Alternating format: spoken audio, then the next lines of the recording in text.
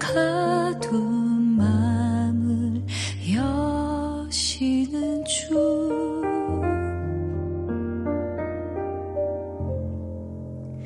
가만히 생각해 보네. 주님 내게 행하신 일. 그때는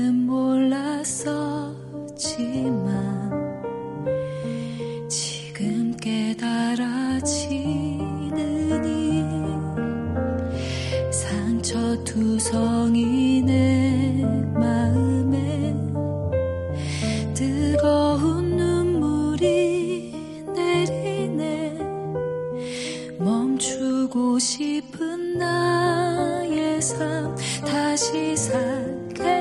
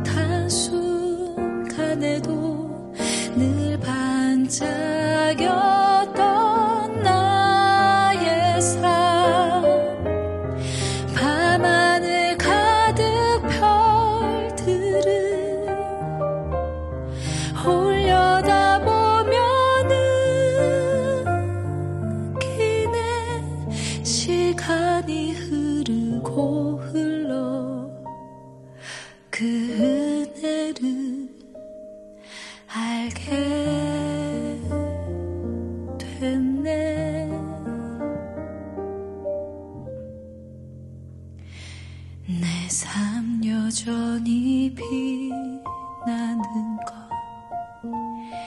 내 안에 사는 빛 때문에 그 빛이 모든 어둠을 물리지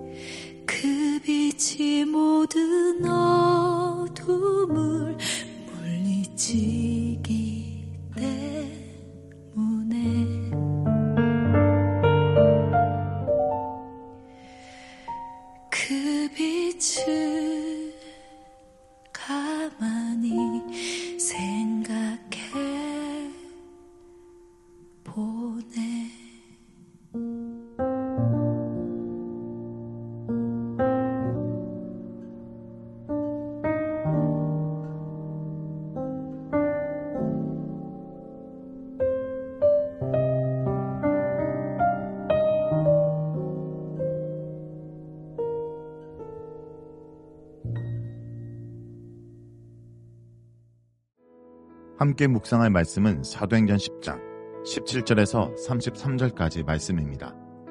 오늘 본문은 고넬료가 보낸 사람이 베드로를 찾아와 베드로와 함께 다시 고넬로의 집에 방문하는 내용입니다. 베드로가 한 상의 의미를 궁금해하고 있을 때 고넬료가 보낸 사람들이 문 밖에 도착하여 베드로를 찾았습니다. 여전히 자기가 본 한 상의 의미에 대해서 골똘하고 있는 베드로에게 19절에서 22절에 두 사람이 너를 찾으니 일어나 내려가 의심치 말고 함께 가라 내가 저희를 보내느니라 라고 성령께서 말씀하셨습니다. 베드로가 나가서 그들을 만나 사연을 듣고 안으로 들여 함께 유숙했습니다. 우리는 여기서 지금 진행되고 있는 일의 주도권을 하나님께서 전적으로 가지고 계시다는 사실을 본문이 끊임없이 말해주고 있음을 발견해야 합니다.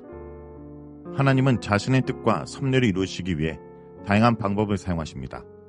그분의 섭리 안에서는 때와 장소 역시 절묘한 것입니다. 예루살렘으로 내려가는 길에 빌립이 에디오피아 내시를 만나게 하신 하나님이 이번에는 베드로와 고넬로의 만남을 주선하신 것입니다. 베드로를 찾아온 그들은 베드로 초청하여 중요한 말씀을 듣기 원한다고 말합니다. 그들은 자기를 보낸 주인에 대해 베드로에게 소개합니다. 백부장 고넬료는 의인이요 하나님을 경외하는 사람이라. 이 말은 자기들을 보낸 사람은 로마 군대 백부장인데 선한 사람이며 이스라엘 하나님을 섬기는 분이라는 의미입니다. 그들이 주인을 이렇게 소개한 것은 단순히 주인에 대한 사실만을 전하는 것이 아닙니다. 베드로에게 주인에 대한 좋은 인상을 심겨주려 했던 것입니다. 여기서 의인이란 말은 그가 좋은 성품과 인품을 가지고 있다는 것을 뜻합니다. 주인이 아랫사람으로부터 이러한 평가를 받는 것이 쉽지 않은 일입니다. 고넬료의 인품을 뒷받침해주는 설명이 바로 이어서 나옵니다. 유대 온 족속이 칭찬하더니 이 말은 고넬료가 비록 로마 군대를 위해 백부장으로 일하면서도 식민지 사람들에게 선을 행하며 살고 있음을 말해줍니다. 이는 이 절에서 백성을 많이 구제하고와 일치하는 대목입니다. 게다가 그들은 여기서 당신을 그 집으로 초청하여 말을 들으려 하느니라 라는 말을 덧붙입니다. 베드로는 이러한 말을 하는 방문객들을 집안으로 불러드립니다. 그리고 그들에게 식사와 잠자리를 제공합니다. 고넬료가 보낸 이방인 방문객을 집에 유숙하게 했다면 이제 그들을 따라가는 것은 별로 어려운 일이 아닌 듯 하지만 유대인이 이방인을 자기 집에 대접하고 유숙하게 하는 것과 이방인이 집에 초대받아 들어가 접대를 받는 것은 당시로서는 엄연히 다른 문제에 속했습니다. 그 이유는 후자의 경우 집에서 어떤 음식을 제공받는지 대한 권한이 방문객에는 전혀 있지 않기 때문입니다. 이런 부분에서 베드로가 이전에 꿨던 꿈과 이방인 집에 초대받는 내용이 연결되고 있습니다. 그리고 현재의 이들의 모습도 다소 충격적인 모습입니다.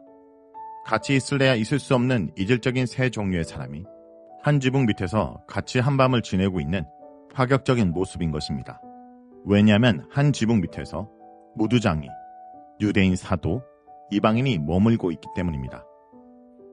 무두장의 집에 유대인 사도가 여느 날을 머물고 있다는 충격적 장면에서부터 시작한 이 사건이 마치 시리즈를 펼치듯이 부자연스러운 상황을 더해가 이제 절정에 이르고 파장의 집에서 고넬료 집까지 50킬로나 되는 먼 걸음을 유대인 사도가 이방인의 집에 나아가고 있는 것입니다. 이러한 모습은 과연 무엇일까요? 오늘 본문이 직접적으로 복음이 유대인과 헬라인, 할레자와 무할레자 사이에 담을 헐고 하나가 되는 능력이 있다라고 언급하고 있지 않지만 베드로 사도가 부정한 무두장의 집에 머물고 있고 무두장의 집에 베드로와 고넬료 집사람이 한 지붕 밑에서 같이 기거하며 밤을 지내고 있는 모습은 이전에는 한 자리에 있을 수 없었던 자들이 한 가족이 되고 한 식구가 되는 모습을 보여주고 있는 것입니다. 이렇게 시몬의 집에서 하룻밤을 머문 그들은 이튿날 베드로와 함께 가이사로 출발합니다. 그런데 여기서 요바에서 온 어떤 형제들도 함께 가니라 라는 말을 덧붙입니다. 요바에서 온 어떤 형제들은 누구일까요? 이들은 요바에서 사는 몇몇 신자들을 가리킵니다. 그리고 그들의 숫자가 사도행전 11장 12절에 6명이었음이 밝혀집니다. 지금으로선 그들의 동행이 큰 의미가 없어 보이지만 이후에 그들이 목격자로서 중요한 역할을 담당하게 됨을 깨닫게 됩니다. 그들은 이튿날 가이사에 도착합니다. 여기까지 여정을 살펴보면 첫째 날 고넬료는 천사를 보고 하인들과 부하 하나를 요바로 보냅니다. 둘째 날 그들은 베드로가 시몬의 집 옥상에서 한상을 경험할 정오쯤에 요바에 도착합니다. 셋째 날 베드로는 방문객들과 함께 가해사로 떠납니다. 이때 베드로는 어떤 일이 일어날지 모르는 상황에서 지혜롭게 요파 주신 신자들을 함께 데려갑니다. 그들은 요파와 가이사라 중간 어디선가 하룻밤을 보냅니다. 그리고 넷째 날 드디어 가이사라에 도착한 것입니다. 이런 일이 벌어지고 있는 동안 고넬료는 베드로의 도착을 준비하며 친척들과 가까운 친구들을 집에 초대하고 대기했습니다. 베드로가 집에 도착하자 고넬료는 급히 달려나가 그 발 아래 엎드려 절합니다. 고넬료의 이러한 행동은 하나님이 보내신 사람을 맞이하는 예의를 의미합니다. 예전에 누구로부터 이러한 예우를 받아본 적 없는 베드로는 당황하며 일어나라고 말합니다. 그리고 저도 같은 사람이라고 말합니다.